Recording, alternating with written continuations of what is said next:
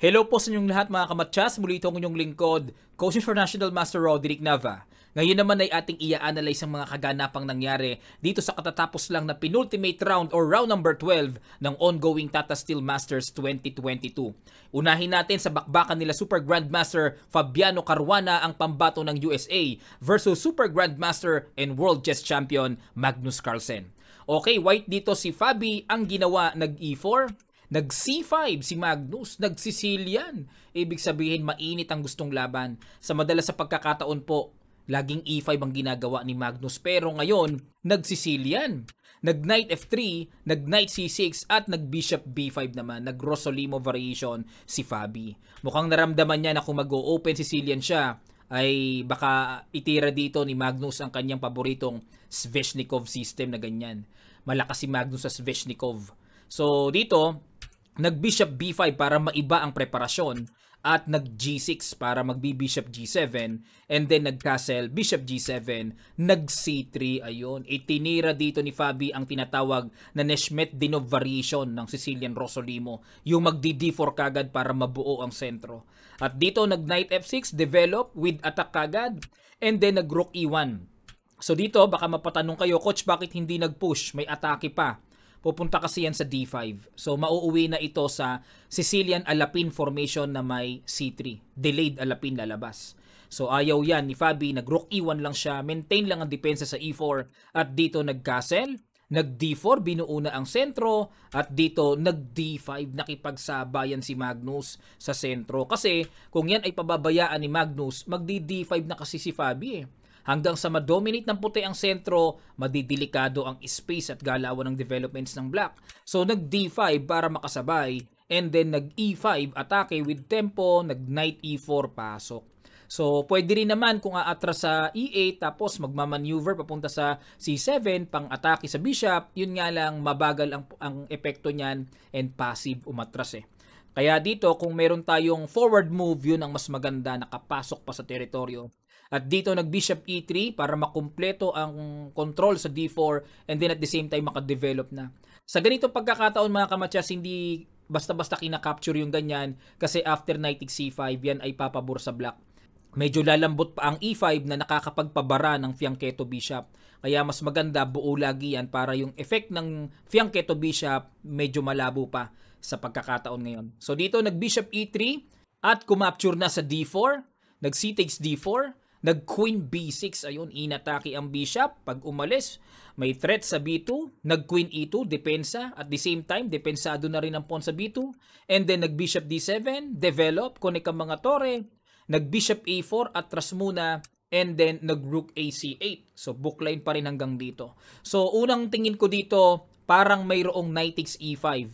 Na tipong pag kinapture ang bishop, babalikan lang ng knight pag kinapture naman ng knight ang knight sa e5, may bishop takes a4 pero meron kasing ganito d takes e5, magkakaroon ng discovered attack sa queen, losing na kagad dito ang black mga kamatsas.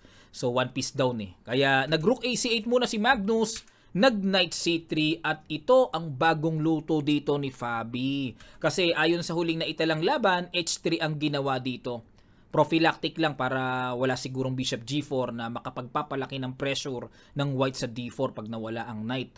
So dito, nag knight c3, gusto ka agad hamunin no, yung knight sa e4 i-challenge at yung pawn sa d5, talagang kina-capture talaga yan. Good move by Magnus. Capture and then nag queen d8.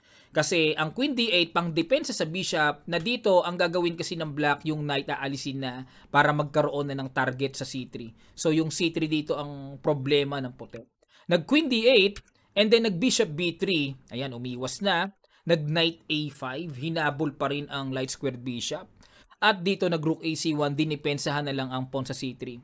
Bakit hindi nakipagsabayan si Fabi? Halimbawa, bishop takes d5. Meron kasing bishop f5 dito. Magkakaroon ng discovered attack sa bishop. At ayun, atakado pa rin naman yung pawn sa c3. Na dito kapag nag c4, pipitikin lang yan ng pawn e6 And then dito, obligado mag-bishop g5 para makagain ng tempo. Queen d7 para maka-bishop e4. Yun nga lang, pag uh, gumanito, capture, capture, bagsak pa rin ang pawn. And then, ang next target dyan, later ay ang pawn sa d4. Tapos, 2 versus 1, sa madalas sa pagkakataon, nakakapag-produce ng pass ng black dyan. So yan po ang malalim dito na mangyayari. Kaya dito ang ginawa ni Fabi, nag-rook AC1 muna, nagtyaga munang depensahan, nag-knight xb3 na 8 xb3, and then nag-queen b6, inatake ang pawn, and then nag-queen a2, dinipensahan, nag-a5 para space, at uh, ma-prevent na rin yung b4, nag-queen a3, sumile para may threat sa e7, sinimplihan lang din ang depensa rook f e8. Kasi dito kung mag-e6, baka mamaya kasi yan, weak yung dark squares eh. Baka mamaya maikutan ng bishop, mai-convert sa d6 o kaya sa c5. Ayun, kaya dito ay chinaga muna ni Magnus na mag-rook fe8 depensa and then nag c4. Ayun, para mabuo naman ang sentro, kumapture, capture, and then nag queen a6. Kasi may posibilidad na matetempohan yan, rook b1 o kaya d5, umiwas muna, and then dito may threat tempo pa sa pawn sa c4. And then nag C5, ayan, para depensado, yun nga lang, bishop C6, good move, eh kontrolado naman ang light square, tapos nagbabadya na tatagpasin ang knight sa F3 na makakapinsala ng bahagya sa king shield ng white. So dito, nag-rook B1, hindi pa pinansin niya ni Fabi na, sige, capturein mo yan, Magnus. Nag A4, ayan, para establish muna yung A pass pawn. Hindi mo na kinapture yung knight sa F3. Preserve muna para bishop pair ang black. At dito na group C1, so grabe, suporta lang. Na kapag kinapture na yung knight, may potential D5 later on, magkaroon ng malakas na pass pawn mamaya. Nag-rook C, D8, ayun, abang lang din. Sa pagkakataong ito, ito yung malalim na islog-islogan, kunatan mga kamatsas.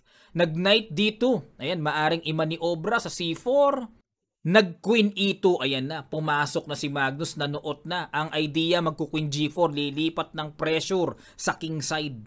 Okay, at dito, nag-F3 si Fabi, yun nga lang, ay kapansin-pansin ang paglamang ng evaluation bar ng black.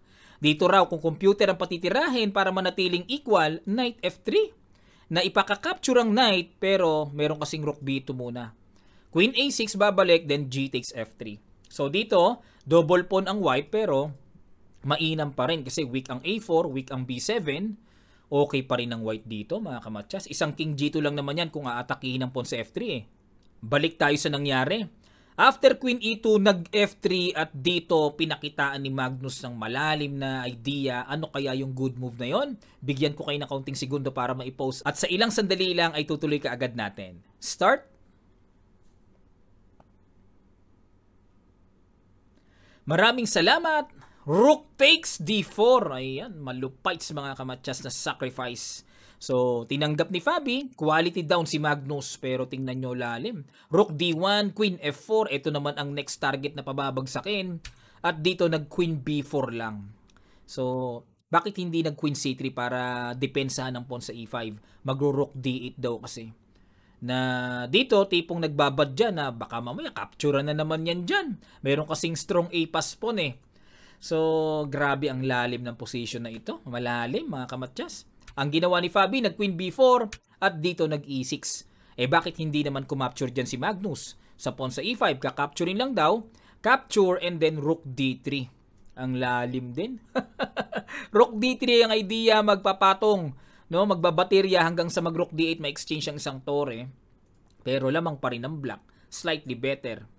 Grabe yung laban nila, no? Malalim ang pagkaka-level eh. So nag e6, Nag-bishop c3, hamon queen to queen, tinanggap na ni Magnus. Capture and bishop takes e5. Grabe, no? Quality down nga, pero bishop pair, may malakas na pass pawn. Nag-bishop a3 and then nag-bishop f6. King f2, syempre endgame na, kailangan malapit na yung king hanggat maaari. Nag-bishop e7, ayun naman ang next target, yung pawn sa c5. So nag-rook b6, ayan sa inis ni Fabi, sa tigas ng posisyon ni Magnus. Eh gusto nang tagpasin ni Fabi yung bishop eh para maibalik na at uh, mawala na yung bishop pair. Pero dito nag-rook c8. Naramdaman ni Magnus na ko, ibabalik mo yung quality up mo ha. Nag-rook c8 muna. And then nag-rook dito, nakiramdam muna si Fabi. Nag-f6. Ayan, para may uh, space na yung king, lalapit na. Nag-f4 para mapigilan ng e5, pero nag-e5 pa rin si Magnus. So, capture, capture. Nag-rook e2, and then nag-rook f8 check, king e1 nag-rook f5. So, depensa muna, tsaga-tsaga muna. Nag-rook b1. Talo inip dito sa position si Fabi. Nag-e4. Ayun na, para kakapturin na yung pawn sa c5. Nag-rook c1, tsaga munang depensa. Nag-bishop h4 check. pina G3 talaga para ma-weak ang F3 square. Nag-bishop G5, nag-rook B1, nag-rook F3. Ayun, inatake ang bishop. So, nagamit na ng rook ang F3 square kasi nga bishop H4 check, pina G3 para bumuka yung F3 square. Provoking technique ang ginamit. Nag-bishop C1, hamon ng dark square bishop. Siyempre, kapakipakinabang ang bishop pair this time, umiwas bishop F6. Nag-rook B6, ayan na naman, nagbabadya na naman capturing ng bishop, then pababagsakin ng pawn sa E4. Dito, nag-rook F5. Then, nag-bishop A3. Dinipensahan lang ang pawn. Bakit? Kung tatagpasin ng bishop, capture, rook takes E4, then rook takes C5 meron pa ring extra 2 pawns ang black, same colored bishop kasi. Kung opposite colored bishop, pwedeng ma-fix yung ano eh, pass pawns eh. Pero dahil same colored bishop, tatamaan yan, magkakatamaan yan, lugi ang white dito. Kaya dito, nag-bishop a3 muna, depensa muna, and then nag-king f7, lapit na. Rook f2, hinamo ng rook to rook, nag-rook f3 muna. Para, ayun, tinanggap nga ni Fabi, nagkaroon na naman ng another strong pass pawn. Ang dami ng problema dito. Ng puti, nag-king f1, at dito nag-bishop d4 at hanggang dito na lang ang chess notation, nag-resign na si Fabi. Kasi sugswang ang position niya eh, mga kamatyas eh. So bakit nag-resign? Isa-isahin natin. Halimbawa kung ang gawin ay rook b1. Ang gagawin dito king e6. Tsatsagain lang oh, lalapit yan. King d5, Ayan, so halimbawa, pilitin na mag-rook d1. Maiiwanan ng Tori ang b5, eh, hindi pwede, may bishop b5 check. Na kapag nag-king e1, may f2 check, king d2, eh, di, eh, queen, capture, capture lamang ng isang pyesa black. Okay, so yan po yan. Kaya wala na eh, hindi na may pagpapatuloy pa. Sugswang ang tore, kailangan kontrolin ng b5 square. Samantalang lalapit na ang king para tumulong na ang black king dyan kung ano pa ang magagawang malakas. Kapag nawala pa yung C5, yung dalawang marching pass pawns, nako, problema ng puti. Kaya nag-resign na si Fabi after Bishop D4. Okay, so ito ang standing natin after round number 12. Nangunguna si Magnus, 8.5 points. 1 point lead siya kay Mamedyarov. Etong si Magnus ay virtual champion na. Kasi ang last round niya si Dubov eh. Eh, plus 1 point na siya. Ayun, magiging 9.5 points siya. Samantalang si Mamedyarov, eh, hard labor pa yung last round niya, no? Kailangan ipanalo niya para makadikit-dikit kay Magnus, pero virtual champion na si Magnus. Very big congratulations kay Magnus. Deserving talaga ang kanyang pagkapanalo sa torneyong ito. And then, si Rapport, nakadikit kay Mamedyarov. Ayan, mga kamatyas, oh. Dikit na dikit pa. So, yan ang abangan nating maiinit na kaganapan sa last round. Round number 13 mga kamatsas. Maraming salamat po ulit sa inyong matiyagang panonood. Sana natuto kayo dito sa inanalyze natin at naglalambing palike ulit ng ating video. At sa mga hindi pa nakakapag-subscribe, subscribe na kayo at click nyo notification bell na all para lahat ng ating mga bagong videos ay ma-update kayo. Muli ito ang inyong lingkod, Coach International Master Roderick Nava. God willing ay magkita-kita pa tayo sa mga susunod pang videos.